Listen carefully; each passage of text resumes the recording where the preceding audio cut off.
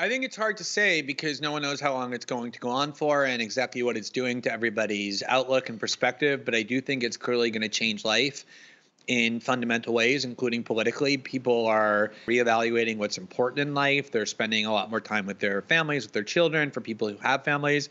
Um, or even if they're by themselves, I think people are starting to think about how easily unraveled the social and political order can be. And I think it's forcing a complete reevaluation of what we care about, how we look at life, how fragile life is, how easily it can change fundamentally, and how we ought not to take things for granted. So, obviously, in some sense, it's going to make people a little bit more traumatized. It's training us to view one another as threats and vectors of disease, which can be extremely bad.